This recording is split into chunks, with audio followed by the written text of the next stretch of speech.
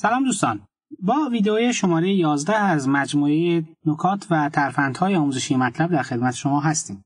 ما جلسه قبل با تابع دایاگ آشنا شدیم. به این ترتیب که فرض کنید یه همچین ماتریسی رو داشته باشیم. و دایاگ این ماتریس میشه قطر اصلی.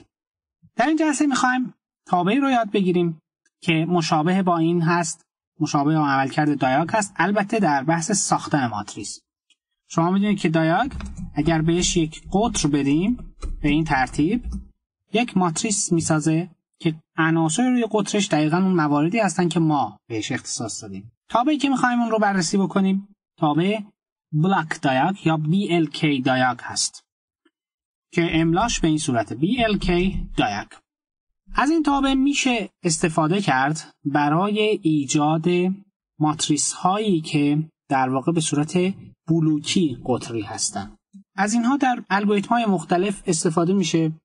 در الگوریتم های مختلف بهینه سازی در مباحث جبر خطی در بحث تئوری سیستم ها در مهندسی کنترل خیلی استفاده میشه از این موضوع که مثلا فرض بفرمایید که یک ماتریسی داریم به صورت A و یک ماتریس دیگه داریم به صورت B. حالا این A رو فرض کنید این شکلی هست. و مثلا ماتریس B رو داریم که این شکلی هست. که مثلا 5 6 7 8 9 10 بعد مثلا میان تعریف می‌کنن که C مساوی ماتریس A و B. به این صورت هم حالا میان نشون میدن. به این صورت این یک ماتریس قطری بلوکی هست که از ترکیب A و B ایجاد شده. برای ایجاد همچین ماتریسی ما می‌تونیم از تابع BLK دایاگ استفاده کنیم. یعنی چیزی که اینو می‌تونه برای ما بسازه اینه. BLK دایاگ خب فرض کنید همون ماتریس A رو اونجا داشته باشیم. یک دو سه و چهار.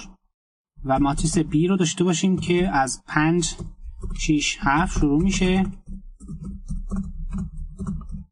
به این ترتیب BLK دایاگ اگر A و B رو بهش بدیم میاد و این ماتریس رو برای ما می‌سازه. ببینید که این ناحیه ماتریس A هست این ناحیه ماتریس B هست و اینها رو با صفر اومده و تکمیل کرد. حالا اگر documentation مربوط به این رو هم بخوایم ببینیم blkdiag این documentation مربوط به این تابع هست که میگه چند تا ماتریس رو به این صورت به صورت قطری با هم ترکیب می‌کنه.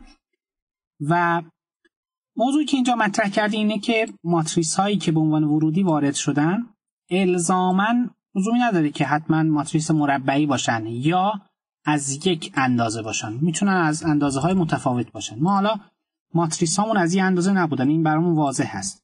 اما خب فرض کنید که یه ماتریسی داشته باشیم به نام C که یک دو سه به این صورت هست. BLK دایاگ A, B و C. بخوایم ببینیم چی میشه. ببینید این ناحیه A هست این ناحیه در واقع B هست و این قسمت C هست که ترکیب شده با اینها.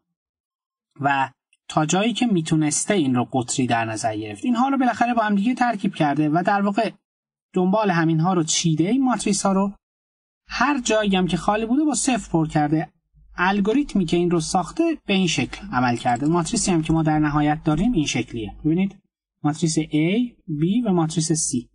ببینید که خب در نتیجه ماتریسی به وجود میاد که تعداد سطرهای اون برابر با مجموع تعداد سطرهای ایناست و تعداد ستونهای اونم برابر با مجموع تعداد ستونهای اینا هست. و اگر یکی از اینها غیر مربعی باشه باعث میشه که در واقع نتیجه غیر مربعی بشه. البته شما مثلا می‌تونید این کار رو انجام بدید که فرض کنید که A یه همچین ماتریسی باشه. بعد B هم یه همچین ماتریسی باشه. یک دو سه. در واقع دقیقا ترانسپوز همون باشه. البته می‌تونستید این شکلی هم تعریف کنید. B مساوی A ترانسپوز. خب حالا اگر blkdiag A و B رو حساب کنیم ببینید یه ماتریس مربعی شد. چرا؟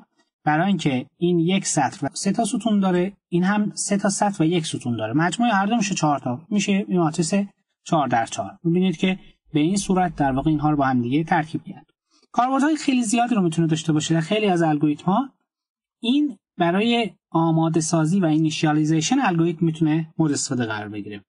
در بحث های مختلفی در بینسازی جبر خطی و تئوری‌های مختلفی که در علوم و مهندسی به اونها پرداخته میشه. ویدیوهای یازدهم از مجموعه آموزشی پرفندها و نکات مطلب به پایان می‌رسه. منتظر ویدیوهای بعدی ما باشید. موفق باشید.